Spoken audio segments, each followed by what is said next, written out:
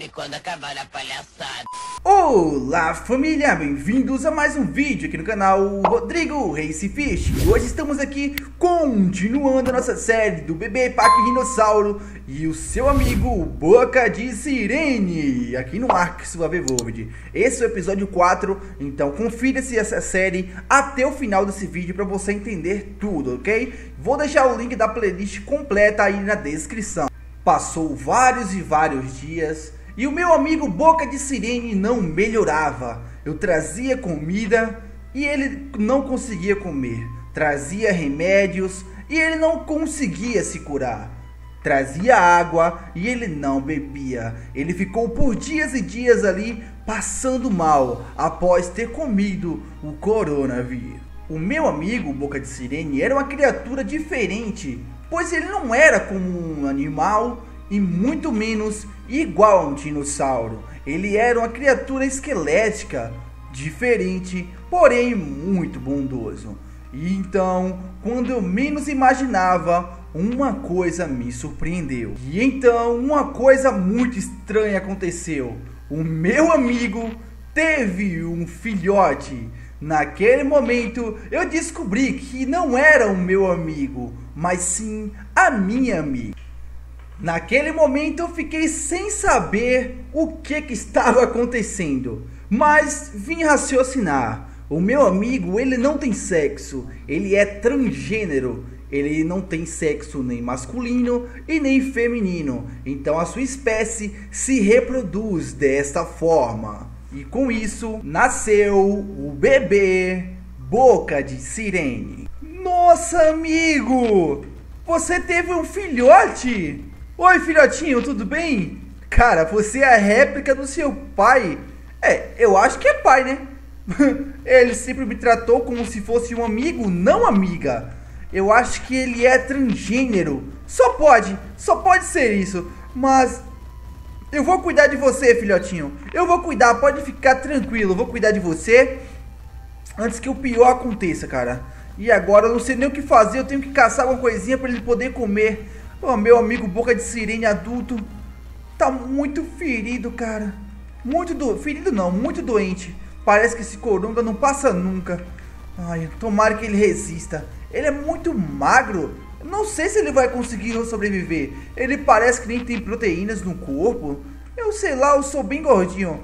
Vem bebê, véi, ele é um bebê e olha o tamanho dele. É o Boquinha de Sirene. O que, que vocês acham? Vocês gostaram desse nome? Fala assim, ó, deixa um nome para ele aí nos comentários, tá? Família, eu sei que o nome do meu amigo é Cabeça de Sirene, é Siren Head, mas eu que apelidei de Boca de Sirene, porque várias pessoas já usam esse nome de Cabeça de Sirene, então eu gosto de me diferenciar das outras pessoas, tem muitas pessoas que gostam de copiar o que a gente faz, então é bom diferenciar um pouco. Vamos lá, bebezinho, vamos poder... Vamos, ah, cara, eu vou caçar alguma coisa para o meu amiguinho Bo Boca de Sirene comer, cara. Tomara que o meu outro amigo fique bem, né? Ai, eu tenho muito medo que aconteça o pior com ele, cara. Eu tenho muito medo. Eu sei muito como é ser perder a mãe, o pai e ser rejeitado. Eu sei muito bem o que é isso. Olha, tem um carnotauro. Eu acho que eu dou conta de um carnotauro por conta. Eita! Toma aqui, ó. Calma, boca de sirene. Fica bem pertinho aí. Cuidado. Isso. Nossa, cara.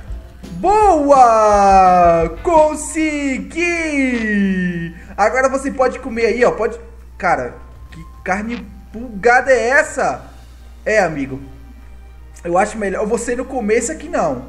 Eu acho que essa carcaça de carnotauro tá infectada ou alguma coisa do tipo, porque. Ah, não, parou, parou de tremer. Cara, parece que a carcaça de carnotauro tem veneno. Que que é isso? Meu Deus do céu. Você é caladão igual seu pai. Você tem uma boca de sirene e não fala. Só faz esses sons. Olha, olha o som.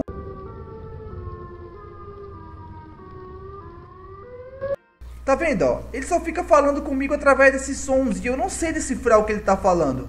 Mas, bebê, Bebê boca de sirene, pode comer aqui, ó. Pode comer, fica à vontade. Vai, come, come, filhote. Acho que ele não sabe como é que come. É porque eu sou herbívoro. Você pega isso aí e faz assim, ó. Isso, tá vendo? Agora vai lá, agora é a sua vez.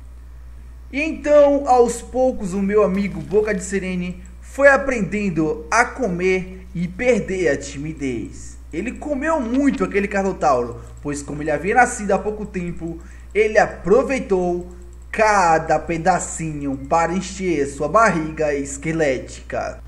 E então, depois de comermos e encher a nossa barriga, o bebê Boca de Sirene e eu voltamos para casa para ver como estava o seu pai, o meu amigo Boca de Sirene. Naquele momento eu não imaginava o que tinha acontecido, se ele tinha melhorado. Eu não estava preparado para mais percas, mas o destino me surpreendeu mais uma vez. Chegando lá, o pior já tinha acontecido.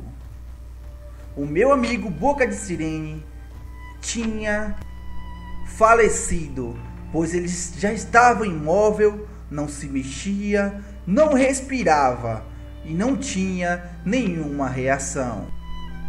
E o bebê Boca de Sirene e eu ficamos arrasados, sem saber o que fazer, sem saber a direção que tomar sem nada, apenas tínhamos um ao outro em que nós confiávamos. Amiguinho, não fique assim. Tudo vai passar. Eu sei o que você está sentindo. Calma, amigo. Uai! Aquela criatura comeu meu amigo! Não adianta eu mais brigar. Ele é um carniceiro. É um urubu. Não vale a pena eu, eu brigar com ele, sendo que o mais importante nós já perdemos, que foi o meu amigo Boca de Sirene. Ainda bem que ele deixou você para mim. Eu acho que você nasceu porque ela, o seu pai já estava perto de morrer. E então o corpo rejeitou você para que você não morresse. Mas pode ficar tranquilo, amiguinho Boca de Sirene, que igualmente o seu pai fez comigo, eu vou fazer com você. Ele me protegeu de tudo, me salvou no deserto, me livrou de várias confusões. Ele fazia todas as minhas vontades. E agora, tudo acabou. Eu não acredito. Até quando? Até quando essa doença vai ficar tirando as pessoas que, que nós amamos? Até quando?